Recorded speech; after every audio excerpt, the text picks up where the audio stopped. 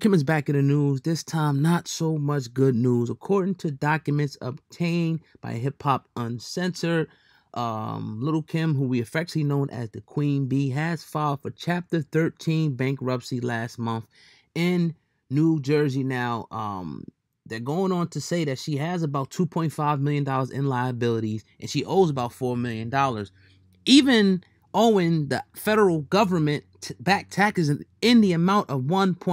$8 million. Now, um, the court document goes on to say that Little Kim's average monthly income is about $18,000 and she pays out about 12000 in expenses, leaving her with about 5000 left over. Now, Little Kim does have some assets, you know, um, some jewelry, uh, Bentley, Mercedes Benz, and, you know, a couple other uh, electronics. Well, her largest creditor, her largest creditor, um, is two million dollars, and that's owed to a loan company relating to her home. So apparently, she got some type of mortgage or something out like this. Well, kick this though. This, this is the crazy part right here.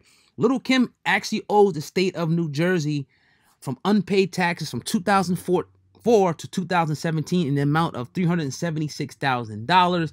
She also owes the feds 1.8 million dollars. Now the rapper lists that she supports her three-year-old daughter, but does not list that she receives uh, child support. Now, Little Kim, you know, the flip side of it, Little Kim has proposed a payment plan, and she pays on, you know, plans on, excuse me, paying her creditors uh, fifty five hundred, you know, um, per month over the next sixty months. So Little Kim is trying to climb, you know, out of this uh little hole here. It's very disheartening to see, you know, some of our greats when we were coming up, you know, to see them in so much, um, you know, tax trouble, you know, uh, get behind in their bills. It just goes to show you that the money won't always be like it was. And, you know, once the money runs out, you cannot continue to have that lifestyle. And like Jay-Z said, man, you know, Jay-Z's the prophet, the street prophet out here. He said, y'all hustling backwards. Pay your taxes, man. Got to pay your taxes because they, you know, every dime that you get is accounted for. And they're coming for, it, whether it be 10, 15, 20 years down the road, Uncle Sam and the state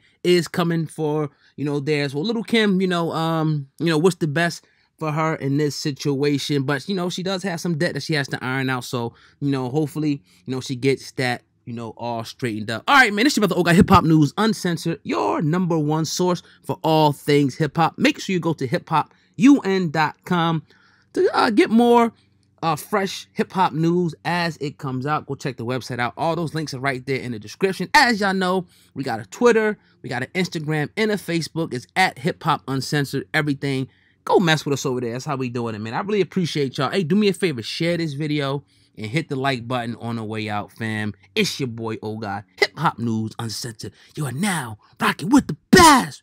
Peace.